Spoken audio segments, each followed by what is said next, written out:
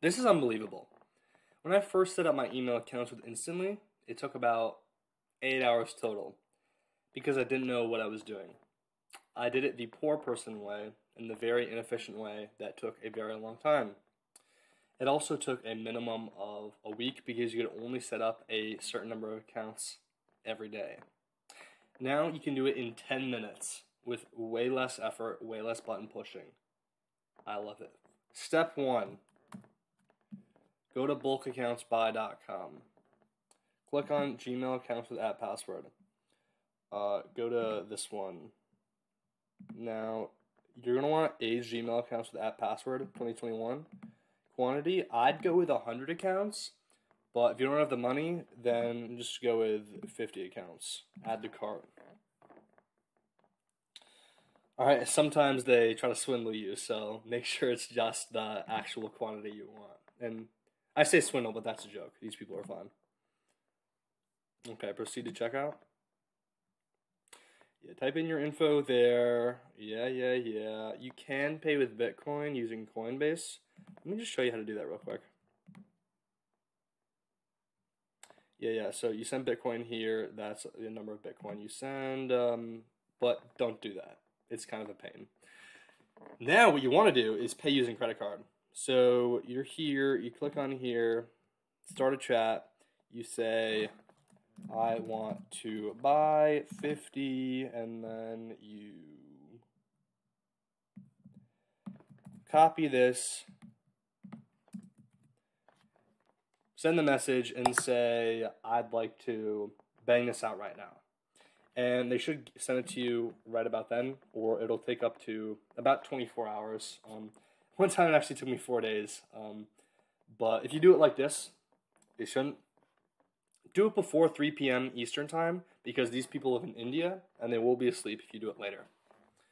And once you bang that out, you will get sent a document that looks like this on the right. So I added the instantly plugged in column and the change name column. Haven't done that, but it probably doesn't matter that much. So email app password, password, recovery email. Thank fucking God. You don't have to log in these one by one. You don't have to turn on IMAP because they're all already turned on. Thank God. You don't have to set up two step verification. You don't have to create that password. This is like the Holy Grail.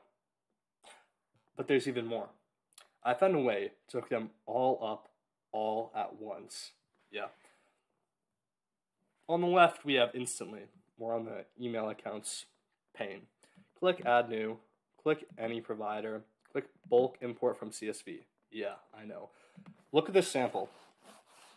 Now you're gonna want to file, um, make a copy. Yeah, you just make a regular copy of it. Okay, there's some instructions right here, but I'll just walk you through it. Here we have an example.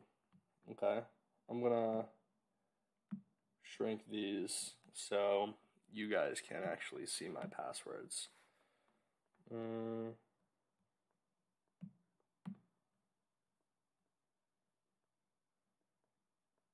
Yeah. See, these are spaced out by two. You don't have to do that.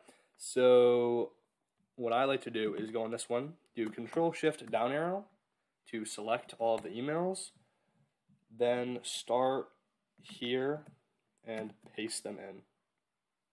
You see it auto-populates with the same uh, username. That's good. Here, you're going to want to put the name of your fake assistant who actually, quote-unquote, sends the emails. Uh, this is the name I came up with. So you use a different, use a female American name because that gets the, the highest open rates.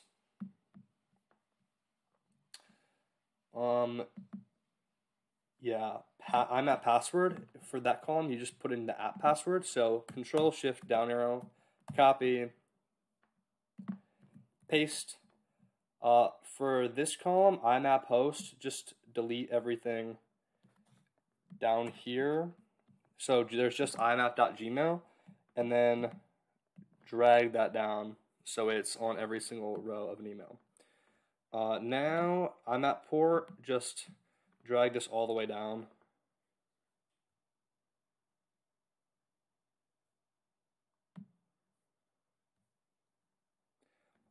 S username. Yeah, it's just the same as the email.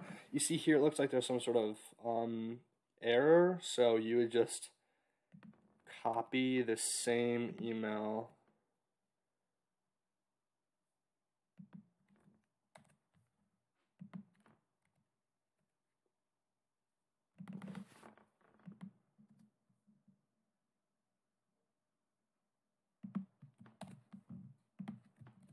Yeah, copy the same email. Okay. Um, the pass the IMAP this SMTP password, you do the same password again. Okay, good, good. Uh, SMTP host, again, just take the smtp.gmail.com, drag that all the way down. Okay. Uh, SMTP port, just do the top one, drag it all the way down.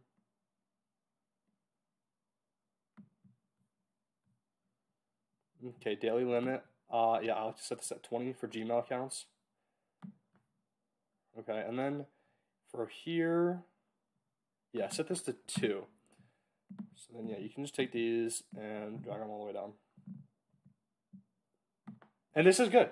This file is done now. Yeah, now file, download as CSV, okay? There we go. Go back to instantly. Here we upload it. Upload. Yes, and then make sure these fields are all mapped the same. Uh, they all will be. Yep, and now you press upload all. And you see it's going to test these. Now for me, it's going to say they're all already connected because they all already are connected. But for you, it's going to say, say something green. Look how easy this is. Isn't this amazing? Hands off. In the previous video, I showed you how to do just one of these emails, and the video was about the same length as this one. But now I show you how to do all of them. And you'll see this go all the way down. And then what I like to do is on this sheet we had, add a column that just says instantly. And you can add a insert a checkbox by inserts checkbox and then just drag that all the way down.